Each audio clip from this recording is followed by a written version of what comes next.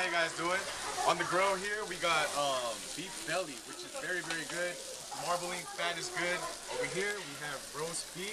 I think it said black Angus roast beef, which is delicious. And right here, we had to get to, this is actually pork cheeks or jaw meat, I think. But this is delicious. Melt in your mouth. Make sure it's fully cooked. Really, really good.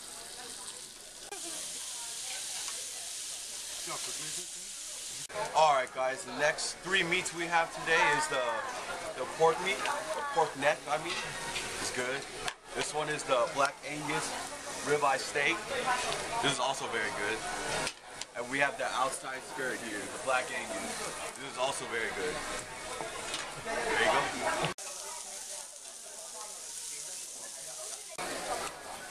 I'm also very good.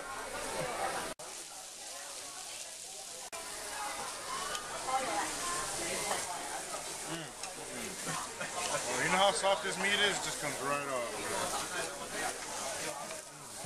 Mm. So good.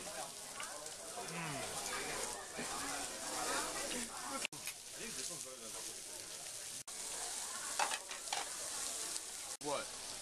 The pork? All right, hey, so we got three different kinds of uh, pork belly over here. You got a original, we got miso, and then we got wine. All great cuts, all great, all great taste. We're about to put it on the grill right now. One. Hey there, back again. They actually have seafood here as well. Over here we have squid with spicy Korean sauce.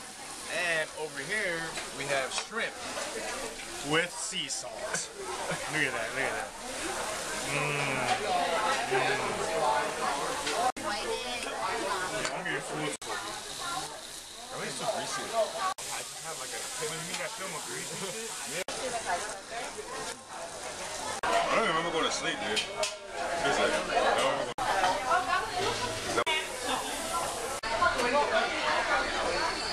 You know what it is? You just have to cook with it.